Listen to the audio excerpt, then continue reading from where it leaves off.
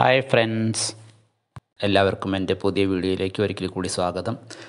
ഇന്ന് നമ്മൾ ഉണ്ടാക്കാൻ പോകുന്നത് ഇറച്ചിക്കറിയുടെ അതേ രുചിയിൽ ഒരു ഉരുളൻകിഴങ്ങ് കറി. അപ്പോൾ ഇറച്ചിക്കറി പോലെ തന്നെ ഉണ്ടാവും ഉരുളൻകിഴങ്ങ് കറി. ഇറച്ചി ഇല്ലാന്ന് മാത്രമേ ഉള്ളൂ.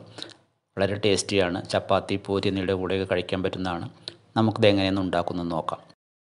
ഇതുണ്ടാക്കാൻ വേണ്ടി നമുക്ക് വേണ്ടത് സവാള ഇഞ്ചി വെളുത്തുള്ളി ചതച്ചത് രണ്ട് മീഡിയം സൈസ് തക്കാളി പിന്നെ വേണ്ട മസാലകളൊക്കെ അത് ഇടുന്ന സമയത്ത് അതിന്റെ അളവ് ഓരോന്നിന്റെയും പറയാം.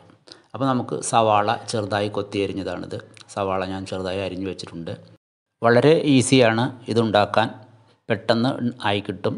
പ്രത്യേകിച്ച് ചേരുവകളൊന്നും കൂടുതൽ ആവശ്യമില്ല. അപ്പോൾ നമുക്ക് ഉണ്ടാക്കാൻ നോക്കാം. ആദ്യമായി ചീനച്ചട്ടി അടുപ്പത്ത് വെച്ച് ചൂടായതിന് ശേഷം രണ്ട് ടേബിൾ സ്പൂൺ വെളിച്ചെണ്ണയാണ് ഞാൻ ഒഴിക്കുന്നത്. വെളിച്ചെണ്ണ ഒഴിച്ചതിന് ശേഷം വെളിച്ചെണ്ണ ചൂടായി. അതിലേക്ക് ഞാൻ അല്പം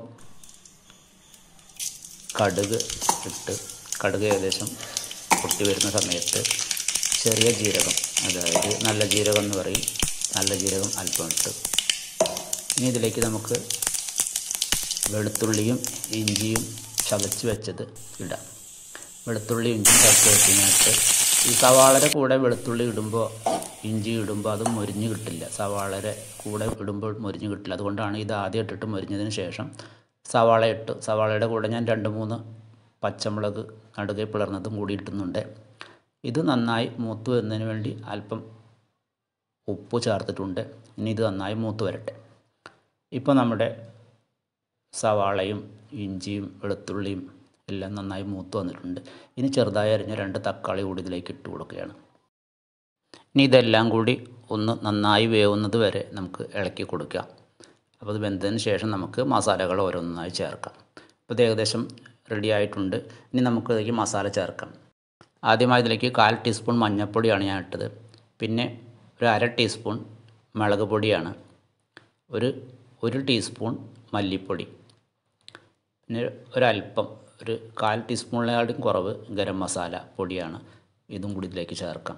ഇതെല്ലാം കൂടി ഇതിന്റെ ഈ മസാലയുടെ പച്ചമണം മാറുന്നത് വരെ നന്നായി വേവിക്കുക. ഇപ്പോൾ ഏകദേശം നന്നായി വെന്ത് വന്നിട്ടുണ്ട്. എണ്ണയൊക്കെ തെളിഞ്ഞു വന്നിട്ടുണ്ട്. ഇനി ഇതിലേക്ക് നമുക്ക് മൂന്ന് മീഡിയം ഉരുളൻകിഴങ്ങ് പുഴുങ്ങി പൊടിച്ചു വെച്ചതാണിത്. ഇത് നമുക്കിതിലേക്ക് ചേർക്കാം. പൊടിച്ചു വെച്ച ഉരുളൻകിഴങ്ങാണ്. അത് നമുക്കിതിന്റെ കൂടെ ചേർക്കാം.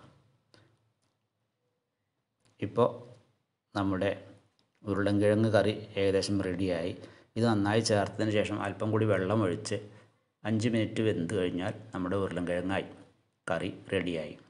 ഇപ്പോൾ ഇത്രയേ ഉള്ളൂ. വളരെ സിമ്പിളാണ്. നിങ്ങൾ സമയം കിട്ടുമ്പോൾ ഇതുപോലെ ഒന്ന് ഉണ്ടാക്കി നോക്കുക. ചപ്പാത്തി പൂരി പത്തിരിയുടെ കൂടെയൊക്കെ കഴിക്കാൻ വളരെ ടേസ്റ്റിയാണ്. നിങ്ങൾക്ക് വീഡിയോ ഇഷ്ടപ്പെടുകയാണെങ്കിൽ സബ്സ്ക്രൈബും ലൈക്കും ചെയ്യുക. ഇനി അടുത്ത വീഡിയോയിൽ കാണുന്നത് വരെ ബായ്